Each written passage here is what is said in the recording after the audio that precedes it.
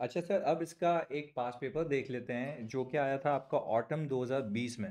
सही है जी तो मैंने छानने की कोशिश की है कि जो मैक्सिमम से मैक्सिमम आपके स्पेसिफिक पास पेपर वो कराऊँ क्योंकि मिक्स भी आते हैं। खैर, इस सवाल में कहता ही है कि कंसिडर करें आप each of the following situations यानी इंडिपेंडेंट सिचुएशंस सही है जी? कहता ही है, इसको करीब कर लेते हैं। Spruce limited issued financial statements on पंद्रह सेप्टेम्बर यानी सर, मैं कह रहा हूँ कि पंद्रह सितंबर के ऊपर एफ़ एस इशू हो चुके हैं। यानी सर, ये वो बाद वाला केस है, इसको दिमाग में रखिएगा अपने। आगे 2020 for the year ended 30 June 2020 में सर, मैंने कहा, मेरा जो रिपोर्टिंग पीरियड है फाइनेंशियल स्टेटमेंट्स की डेट है, वो 30 जून 2020 है। ऐसा ही है, ये रहा। अच्छा भाई, फिर कह रहा है बाईस सितंबर 2020 पे, यानी सर, इसके बाद। 22 सितंबर 2020 पे, यानी after the issuance of financial statements ये आखिरी वाला केस है, फिर रिपीट कर रहा हूँ, आगे। Your audit team came to know that a major debtor has filed a bankruptcy due to destruction of its production facility in a terrorist attack on 20 August 2020 अच्छा ज़रा बात समझिएगा। क्या ये रहा है कि टेररिस्ट अटैक हुआ था यहाँ पे अगस्त के अंदर। यानी यानी सर, आपकी आपकी प्लीज़ सुनिएगा। आपके एफएस की डेट के बाद और ऑडिट रिपोर्ट से पहले, यानी फाइनेंशियल स्टेटमेंट जो फाइनेंशियल स्टेटमेंट से उसकी इशुएंस से पहले। ऐसा ही है। बात समझिएगा। तीस जून आपका ईयर एंड है। फाइनेंशियल स्टेटमेंट इशू हो चुके हैं। पर अब अगर मैं बात कहूँ, क्या मैं ये कह सकता हूँ?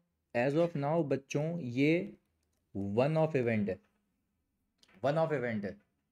क्योंकि ये कंडीशन ईयर एंड पे एग्जिस्ट नहीं करती थी। तो सर, ये बात तो कंक्लूड करें ना कि ये नॉन एडजस्टिंग इवेंट है। तो बच्चों, इसको लिखने का तरीका क्या होगा? पहले आप सिचुएशन उठाएँगे और बताएँगे कि ये इवेंट एडजस्टिंग है या नॉन एडजस्टिंग है। अगर नॉन एडजस्टिंग है तो आया कि इसमें डिस्क्लोजर चाहिए या नहीं चाहिए?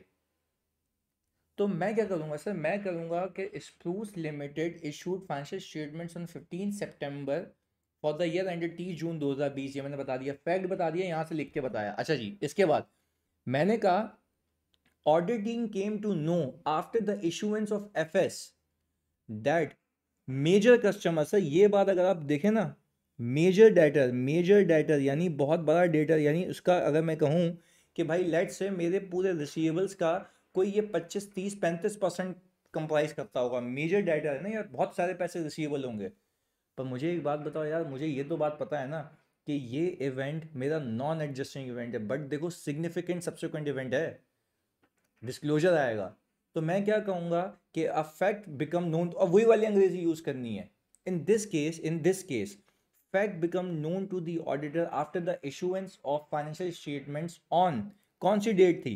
सर बाईस सेप्टेम्बर दो हज़ार बीस however the event has occurred after the year end however event has occurred after the year end so the condition does not exist at reporting date so this is a non adjusting event आपने पूरे वही अल्फाज use करने जो मैंने आपको बताए थे।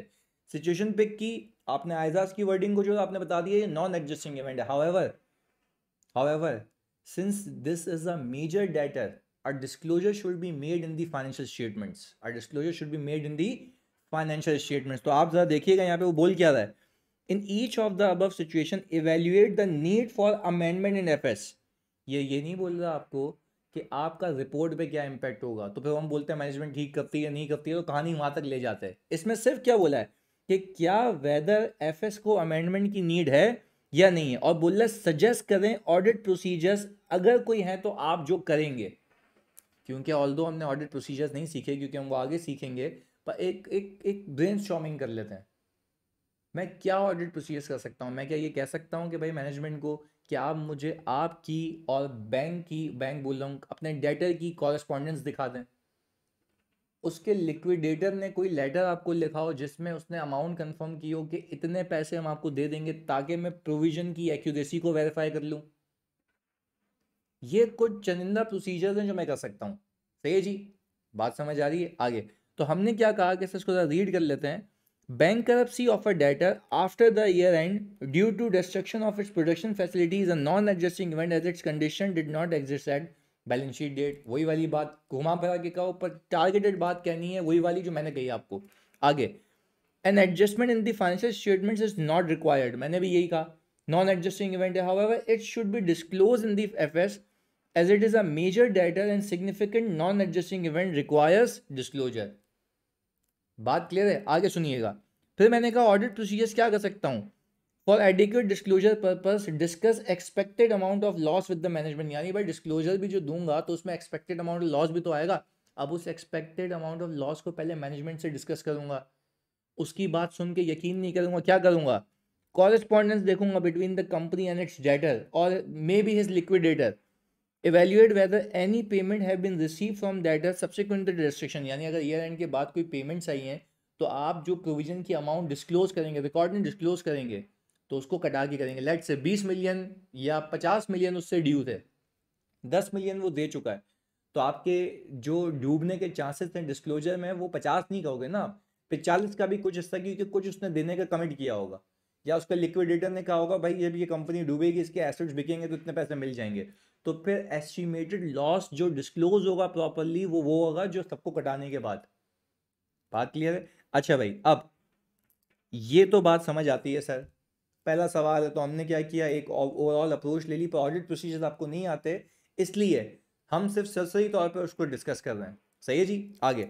मैंने ये कहा during the audit of large limited for the year ended तीस जून 2020 अच्छा भाई, तीस जून 2020 मेरा क्या है? ईयर एंड है sir the audit team notice that the management of L L had worked out an R V on the basis of sales price at year end यानी ईयर एंड के ऊपर ईयर एंड के ऊपर जो selling price थी, उसके base पे उसने एनआरवी वर्कआउट कर ली. लेट से एनआरवी में कह रहा हूँ पचास है और कॉस्ट जो उसकी थी चालीस थी तो लोअर ऑफ़ कॉस्ट जो एन पे चालीस पे रिकॉर्ड होनी चाहिए इन्वेंट्री आगे देखते हैं। Since N R V was greater than cost L L recorded the inventory in its draft F S at cost जो करना चाहिए अभी तो वो बता रहा है। हाउएवर आफ्टर रिपोर्टिंग पीरियड यानी रिपोर्टिंग पीरियड के बाद, यानी ईयर एंड के बाद L L is facing difficulty in selling its inventory sir, ये भी तो एक रिस्क फैक्टर था कि अपनी इन्वेंट्री बेचने में दुश्वारी हो रही है। At current price level and therefore considering revising its prices. Sir year end के बाद अगर सवाल साइलेंट है और आपकी इन्वेंट्री कम पे बिक रही है तो मतलब आपकी इन्वेंट्री रिपोर्टिंग डेट पे भी इम्पेयर्ड थी, आपको पता सिर्फ़ कब लगा है? बाद में। तो सर क्या हम कह सकते हैं conditions might have existed at reporting date यानी decrease in selling prices of inventory after the reporting period is the adjusting event because inventory must have been impaired at reporting date यानी वो reporting date पे भी already क्या थी बच्चों? Impaired थी। तो क्या हम ये कह सकते हैं? क्या हम ये कह सकते हैं सर यहाँ पर कि sale of inventory below cost after the year confirms its N R V at balance sheet date and is an adjusting event सही है जी? Inventory should be written down to N R V at तीस जून दो हज़ार बीस क्योंकि sir ये कौन सा इवेंट है? एडजस्टिंग इवेंट है। Possible procedure sir discuss the basis of revise selling price management से बोलूँगा भाई रिवाइज सेलिंग प्राइस कैसे कैसे डिटरमाइन किए तुमने? क्या लोगों से पूछे थे वाकई में बेच के? पहली चीज़ हो गई check the sale agreement after the year end खुद एक सेल जो सेल हुई है वो चेक कर लो कि भाई सेलिंग प्राइस कितनी थी ताकि आपको अप्रोप्रिएट एनआरवी हर एक कैटेगरी की पता लग जाए। Ensure inventory is corrected inventory is at correct value at lower of cost and N R V at balance sheet date यानी फिर वो आखिर में एक फजूल सा प्रोसीजर लिख दिया उसने इंश्योर कर लें कि इन्वेंट्री की एडजस्टमेंट बैलेंस शीट में पार्क हो गई हो। पर इसके आपको मैं अगर तमीज़ के प्रोसीजर्स बताऊँ तो इसके तमीज़ के प्रोसीजर्स ये हो सकते हैं कि you may visit ware to check the condition of inventory and ensure that the obsolete inventory should be recorded at N R V rather than its cost ये हो सकता है। आप सब्सिक्वेंट सेल्स चेक कर लेंगे, ये रेलिवेंट है। कि भाई सब्सिक्वेंटली सेल्स चेक करेंगे कि क्या वो इन्वेंट्री जितने की बिकी है तो वो प्राइस लॉक करके कॉस्ट से कंपेयर करेंगे और फिर रिकैलकुलेशन करेंगे।